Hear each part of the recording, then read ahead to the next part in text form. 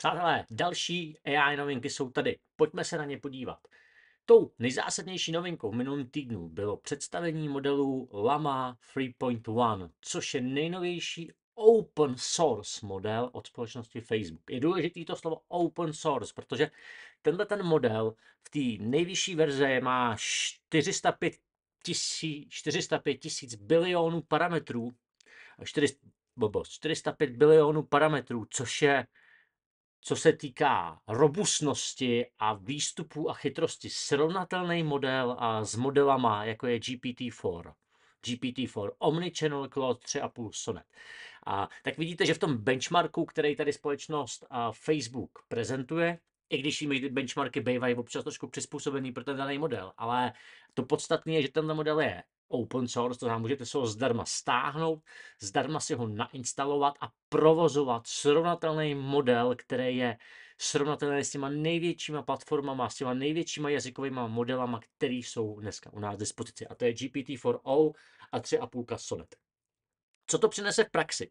V praxi to doufám, že to přinese rapidní zlevnění těch velkých modelů, protože spousta velkých firm začne používat na ten open source model, který prostě jako, uh, i kdyby byl z 90% stejně tak dobrý jako ty velký modely, tak tam obrovská úspora, protože může běžet na vlastním železe. Stojí vás zase něco provoz vlastního železa, vlastního vlastních uh, grafických procesorů, ale prostě je to open source a to je sakra sexy.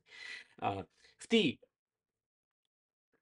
komerční části nebo v, v podmínkách je vlastně doložka, že pokud budete mít, a teď doufám, že to číslo interpretuju správně, 70 milionů aktivních měsíčních uživatelů, teď se 70 nebo 700, 700 milionů, 70 aktivních měsíčních uživatelů, a tak máte kontaktovat Facebook a domluvit si speciální licenční podmínky, což je pravděpodobně netýká nikoho z nás, ale týká se to velkých firm, který si toho šéfují. Pro běžný uživatele a běžné apky se tohoto omezení netýká a ten model by měl být opravdu, opravdu open source a zdarma, což je pro nás skvělý.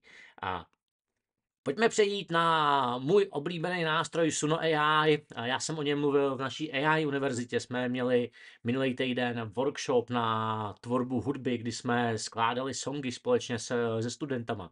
A tak Suno představil, představilo funkci nebo spektrum nových nástrojů a nazval ji STEMS, a v podstatě to zásadní, co je, že vy si tu písničku můžete rozebrat na jednotlivé vrstvy. To znamená, do této doby vy jste napsali prompt, mohli jste tam napsat, já nevím, gitár, mohli jste tam napsat, eh, že tam chcete prostě uh, female voice, jo, ženský hlas a on vám to nějak složil, ale tak nějak jste mohli se dívat jenom na ten výsledek. A s touto novou funkcí si to můžete malinko rozložit a můžete s tím pracovat. Trošku se nám víc přibližuje nástroj Udio. A já se právě na tom workshopu říkal, když jsem srovnával Suno a Udio, že Udio je Výstupy jsou vlastně srovnatelné, cenovky jsou srovnatelné, Udio je takový trošku jako víc techničtější, že tam vychytáte víc věcí a samozřejmě Suno byl takový úplně jednoduchý, na první dobrý prompt se vám něco složí a s touhle funkcí si můžete i v Sunu trošku, trošku víc hrát. A Minulý týden jsem i právě u nás AI univerzitě v naší obecné diskuzi tady někde nahoře, jasně, uh, 18. července, informoval, ne, to je GPT, no, to je jedno celkem. Informoval jsem o GPT, GPT Search, což je věc, GPT Search Prototype, prototype, což je nová funkce, která by měla přiblížit GPT tak trošku jako perplexity, protože chat GPT modely jak fungují? GPT modely fungují tak, a že vy se jich spoustu lidí to zaměňuje za Google. Je to nesmysl, nejde to, jo? protože ty modely si vlastně vymýšlejí. A pojďme si to říct takhle jako laickou řečí se vymýšlej.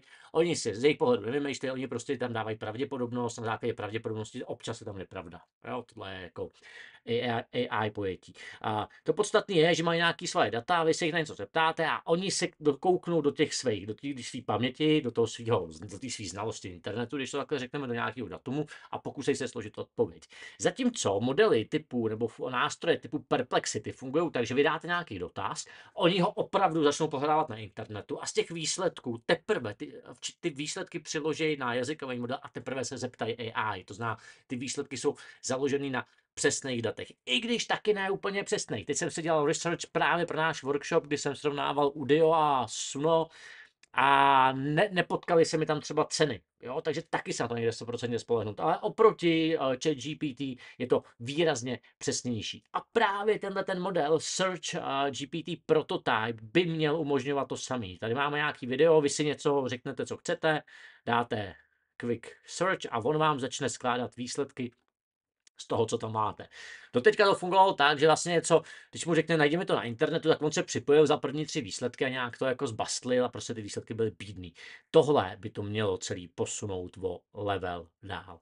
Na mám link tady po to video, takže si to můžete proskoumat víc v detailu, jak to funguje, můžete si rozklikávat ty citované weby a bude to opravdu takový, na ty data se bude dát víc spolehnout než doteďka. Leonardo AI, nová funkce Teams, je to vlastně licence pro týmy, kdy můžete, tady máme, tady máme rozebraný, co všechno s nimi můžete dělat, můžete šérovat kolekce, to je jako super, co je velmi zajímavé, můžete šérovat fine-tune modely, takže budete dostávat konzistentní výstupy třeba pro marketingové agentury, když budou mít klienta s nějakýma barvama, vytvořej si, vytvořej si AI model, který bude konzistentně dávat výsledky v daném stylu, v daných barvách a a budou to, to šerovat. Je tam nějaká prioritní support, management a tak dále. Jako mě, mě tady, co mě nejvíc zajímalo, je ten a tyhle ty konzistentní outputy. Takže jako Leonardu fandím od začátku, Leonardo je fan, fajn nástroj. Je to takový jako nemá výsledky založené na ty původní verze jsou na Stable Diffusionu a vlastně i ty nový modely asi vychází ze Stable Diffusionu. Ne, nedává tak hezký jako arty, jako dává Midjourney v mnoha případech, ale blíží se to tomu a je to prostě použitelnější, protože se s tím můžete hrát a můžete tam různě nastavovat. Takže pokud neznáte Leonardo nebo se nepracovali, určitě ho zkuste, je možné ho vyzkoušet i ve verzi zdarma. Klink AI, video generátor, který je čínský a je srovnatelný ze Soru. Když jsme si ho tady před pár týdnama, ono už jsme to možná měsícema ukazovali, že ty výstupy jsou jako nařakaný, ale byly plný Číňanů a prostě a, ani v Americe, tuším, a, na základě IP adresy nešel Klink spustit. Teď je dostupný celosvětově. Sora je zatím někde v nevidění, Soru jsme bohužel neviděli ještě a uvidíme, jestli vůbec, a jestli vůbec Soru uvidíme předpokládám, že ji uvidíme jenom, a jenom nevíme, a jenom nevíme kdy. Jo, OpenAI má a vždycky, když něco oznámí, tak jako doba od oznámení novinky k její realizaci bývá mnohdy dlouhá.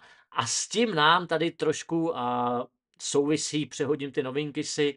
A jedna z těch novinek, kterou oni oznámili, tak bylo že by měl a, mít ChatGPT 4o jako omnichannel, super jazykové schopnosti, budeme mu moci mluvit, a, z, ten hlas bude schopný mít tón a, a bude prostě ta komunikace hlasová interaktivní, což do teďka není. Nicméně na Twitteru a jsme tady zachytili post, a kdy Sam Altman na něj odpovídá a že alfa, byl tam problém se Scarlett Johansson, která řekla, že to je její hlas, tak se tak nějak oddalovalo všechno, a že by se to mělo rolovat příští týden, to znamená vlastně tento týden. A možná už příští AI novinky budeme představovat novou verzi od OpenAI a jejího staronovou verzi hlasového asistenta. ChatGPT 4o mini model, o kterém jsme tady mluvili minulý týden a představovali jsme ho jako alternativu ke klasickému modelu 3.5, který je levnější, výkonnější, je omnichannel, to znamená umí číst obrázky, vychází právě, právě ze čtyřky oučka z velkého modelu, tak ho můžete fine-tunovat, což znamená, že ho můžete jako přitrénovávat, i když trénink není úplně v té profesní řeči to správné slovo, ale nám to, nám to asi takhle bude stačit. A, a první dva miliony tokenů za den máte zdarma, což to znamená, že tam můžete nahrát spoustu matrošek, který, ho, který je třeba relevantní vašemu biznisu a pak se ten, pak si přes apíčko právě na ten model sáhnout a ten model bude přizpůsobený vašim datům. Tak, pojďme to dneska zakončit Googlem a Google oznámil novinky a v Gemini 1.5 Flash, který je hm, rychlejší, podporuje víc jazyků. Obecně Google, samozřejmě mimo ně moc nemluvíme, protože ty novinky nechci říct, že často neoznamuje, ale prostě za nás nejsou tak jako zajímavý jako ty, ty, ty další modely. A nicméně samozřejmě furt tady je to hlavní hráč a furt nám a furt šlape, furt se dohání ty ostatní. To znamená, je to jeden z těch, řekněme, čtyřech velkých hráčů a velkých jazykových modelů. Poslední verze je 1.5 Flash, který je dostupný, který je dostupná a dostupná v Google Google Advanced, Google One, je to v placených, v placených verzích. My jsme ho tady testovali, já se přiznám, já jsem ho netestoval poslední týdny a nějak se k němu nechystám, mnohem zajímavější mi přijdou modely od Antropiku a od OpenAI, kdy, který, s kterými se vystačím na většinu, většinu úkolů. Tak, z těchto těch novinek dneska, tenhle ten týden je to všechno. A díky, že jste dokoukali až sem, pokud jste dokoukali až sem a uvidíme se u dalších YouTube videů na našem kanálu. A snažíme se pro vás točit dvě až tři videa týdně, takže nám dejte odběr, dejte follow, nazdílejte nám to, podpoří nás to, pomůže nám to v tom, aby jsme tuhle kadenci videí udrželi. Mějte se krásně a vidíme se u dalších videí.